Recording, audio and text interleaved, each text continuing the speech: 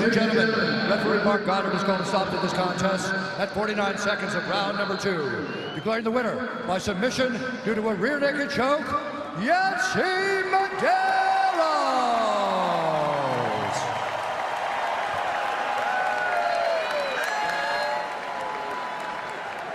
I'm here with the winner, Yancy Medeiros. Yancy, congratulations on a successful welterweight debut and an outstanding one. You, had him hurt with that head kick in the first round. He blocked it, but the power went through.